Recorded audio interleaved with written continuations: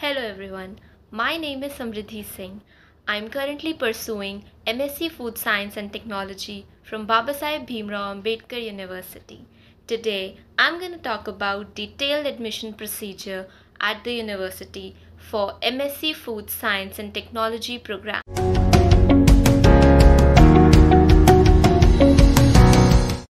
Babasaheb Bhimrao Ambedkar University is a NAAC a grade accredited university. It is a central university and it was established in 1996. Uh, MSc Food Science and Technology and MSc Food and Nutrition program comes under Home Science Department of the university. The Home Science Department of the university was established in 2007. Apart from the MSc programs, the university also offers a PhD course in food and nutrition.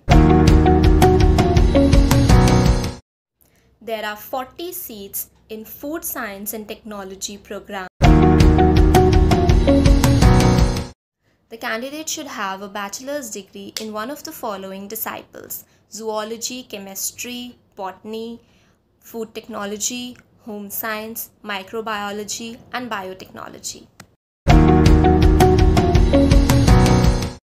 The duration of the course is two years. It consists of four semesters. In the first semester, we learn about the basics of food technology. In the second semester, we learn about statistical methods and techniques in food analysis.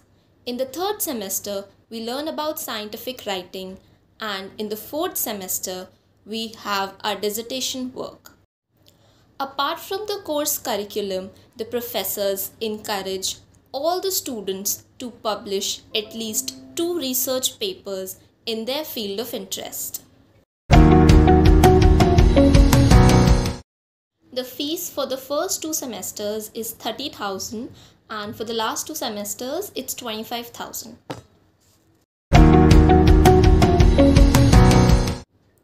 The entrance exam is conducted every year in computer based mode.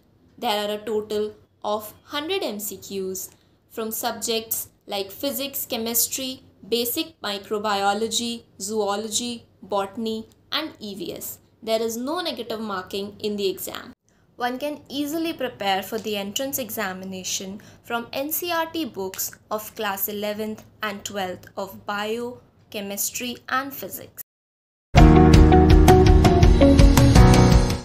The university occupies an area of 250 acres in the city of Lucknow.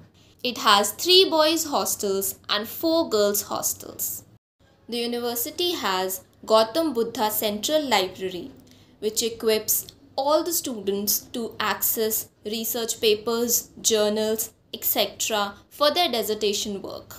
So that's all from my side. I hope you found this video useful.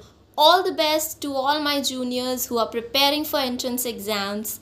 Like, share and subscribe and keep preparing with Prep FST.